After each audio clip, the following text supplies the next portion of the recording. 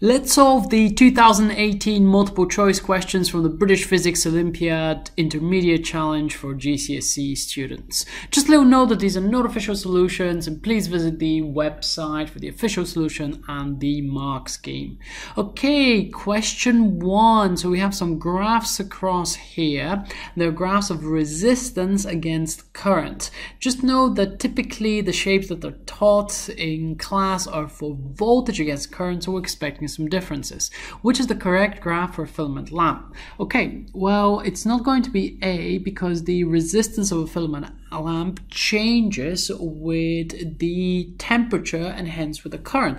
The higher current means a higher temperature. So B is actually the correct answer, and this is because the resistance increases with temperature and increases hence with the current. But if the current is zero, the lamp will still have some amount of resistance across here. That's why the answer is B and not C.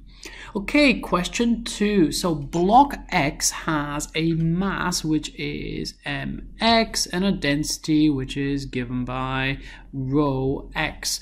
Block Y, on the other hand, has mass my and density rho y.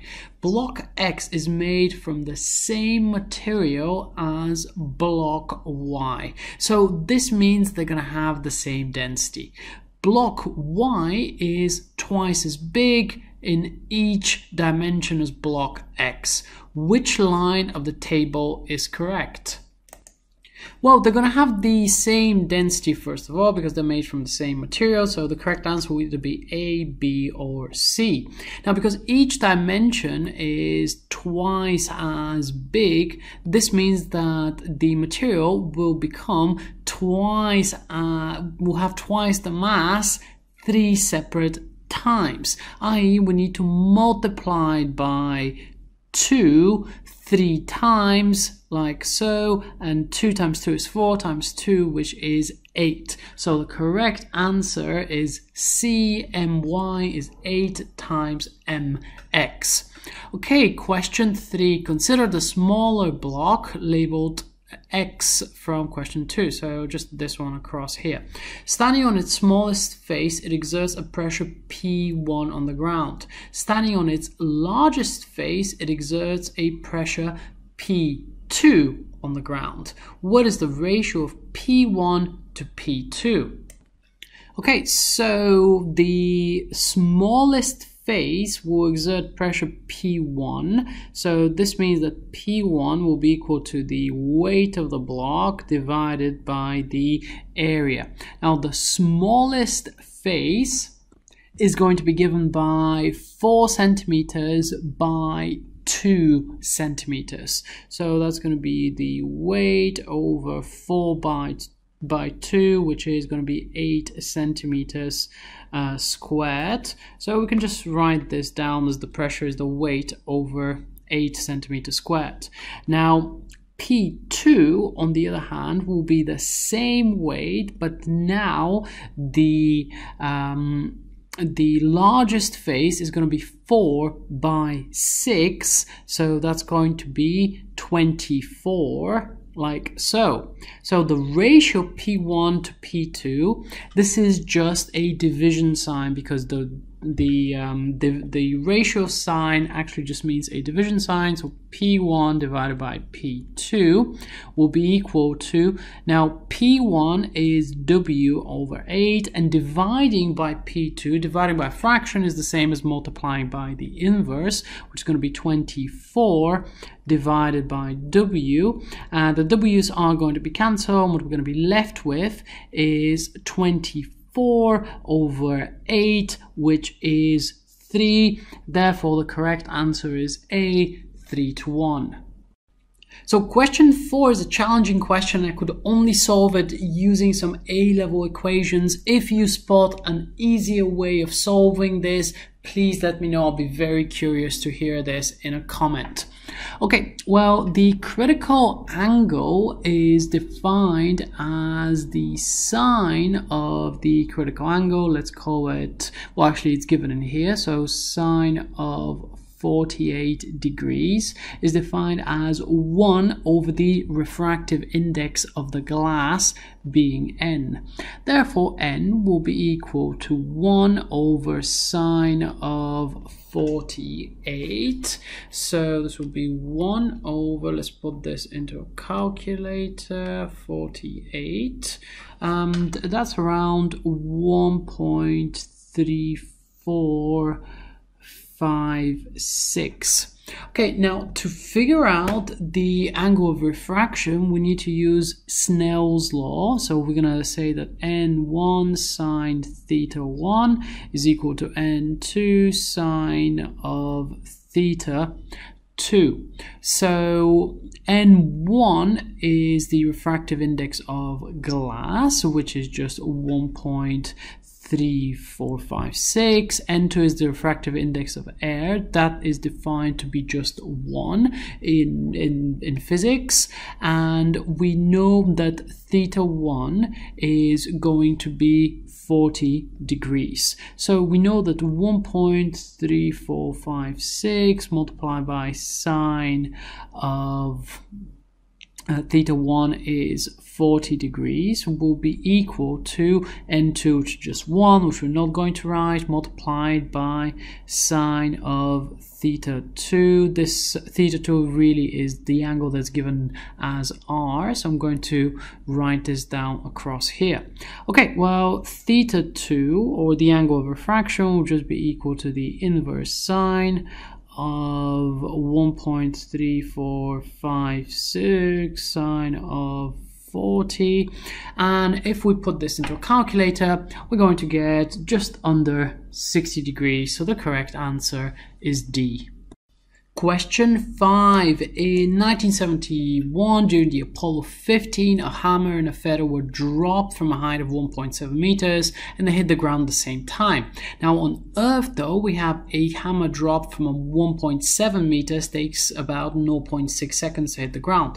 Given that the acceleration due to gravity of the moon is much lower, it's around 1.6, calculate the time taken for the hammer and the feather to fall on the lunar surface.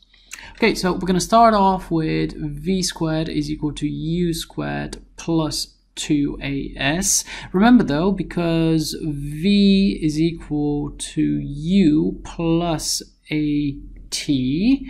Uh, where does that equation come from? Acceleration is change in speed. v minus u is final take away initial speed divided by the time and there's no initial speed and we can say that the acceleration is equal to v over t. Or another way of saying this is that v is equal to a times t. So what I'm going to do is I'm going to take this equation and I'm going to plug this in here. So what we're going to get is a squared times t squared is equal to there's no initial speed so that will just be 2as can cancel out one of the a's and what we're left with is that t squared will be equal to 2s over a. And now let's square root that expression as well and let's plug in some numbers. So it's going to be 2 times uh, the height is 1.7 meters and the acceleration on the moon eh, on the moon is 1.6 Putting that in a calculator, we can get 1.46 seconds. So correct answer is C. Question 6. Whilst performing the experiment in question 5, the astronauts on the Apollo 15 mission created the work of Galileo Galilei and his investigation the motion of objects. He showed the following. That was a very important result and sh showed that objects in the same gravitational field all fall with the same acceleration. So correct answer is E. 7. When measuring and paying for domestic electricity, the amount used is usually measured in kilowatts hours. The kilowatt hour is a unit of, the answer is energy. If you're wondering why, um, remember that power is defined as the amount of energy divided by the amount of time. And what we can do is rearrange for the energy, which is power times time. So power is measured in kilowatts and time is measured in hours. Therefore, the kilowatt hour is the unit of energy. Question 8. We have a crude method to measure the speed of sound. So involves banging two wooden blocks together to produce a sharp sound. So one person does this and the second uses a trundle wheel or tape measure to stand 100 meters away. When the second person sees the blocks hit, they start a stopwatch, but when they hear the bang, they stop the stopwatch. So we have this method with a value of 420 meters per second was measured. The accepted value is 300 40 meters per second. The most likely reason for the difference is now I'm going to go with that the distance measurement is too small. If the distance measurement is too small, the speed of sound is quite large and uh, because of that it will be hard to make an accurate measurement. So I'm going to go for C. Question 9. In 2014, the highest free fall jump was made from a height of just over 41 kilometers. As the jumper traveled back towards Earth, he reached a terminal velocity of uh, 1,300 kilometers per hour. Exciting. So, continues fall towards the ground through the atmosphere, uh, becomes thicker on his descent, and before he released his parachute, his terminal velocity. So on his descent and before he released his parachute, what happened to his terminal velocity? Well, if the drag force keeps increasing as he's falling through the atmosphere, the terminal velocity will become smaller and smaller. So it peaks at 1300 and then is going to go down and down. If you do a normal skydive uh, from 5000 meters or so, the terminal speed I think is around 120 miles an hour. So that's substantially lower. So the correct answer is C. Question 10 is he ascended to jump the height and balloon. The free fall jumper in question 9 needed to use compressed air to be able to breathe. The pressure in these gas cylinders changed during the flight as the free faller jumper used the air, the gas in the cylinders became cold due to the height, the cylinders got slightly smaller as they contracted due to the cold. The pressure in the cylinders reduced because of. That's a really interesting question. So let's um, have a look at them individually. The free fall jumper used the air. That will definitely decrease the pressure because it will literally be taking molecules of air out and that's going to reduce the amount of force in the container. So one will be included.